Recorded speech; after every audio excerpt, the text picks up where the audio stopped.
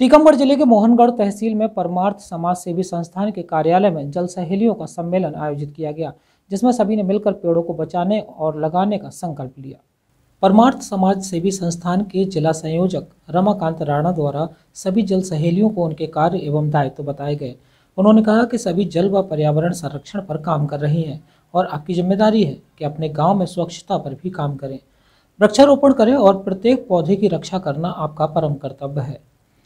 परियोजना क्षेत्र के प्रत्येक गाँव से आई जल सहेलियों ने संकल्प लिया कि वह अपने अपने गाँव को पानीदार बनाएँगे और सभी जल स्रोतों के पास सफ़ाई करवाएँगे। साथ ही क्षेत्र में जो जंगल है, उनको काटने से बचाया जाएगा। इस मौके पर संस्था के कार्यकर्ता विवेक अहिरवार एवं जल सहेली रेखा सोनी, कीर्ति दांगी शारदा यादव, मुन्नी अहिरवार, रामा केवट, गौरा केवट अन्य अहिरवार सहित कई ग्रामीण उपस्थित रहे। काट लिया जाता है। तो इनको ये लोग आ, इसका आवेदन दे रहे हैं कि इस अवैध कटाई को रोका जाए और अगर ये नहीं रुकी। तो हम लोग आंदोलन करेंगे इसके लिए। और अभी जो देखा जा रहा है कि मोहनगढ़ क्षेत्र में सबसे कम बारिश हुई है। जब पानी की ज़रूरत होती है जब पानी बरस नहीं रहा और जब ज़रूरत नहीं है तब पानी बरस रहा जब लोगों की फ़सल सड़ेगी तो इस तरह का जो जलवायु परिवर्तन है वो किसानों के लिए खतरा है। और इसका जो मेन कारण है वो है पेड़ों का ना होना पेड़ों की अवैध कटाई होना।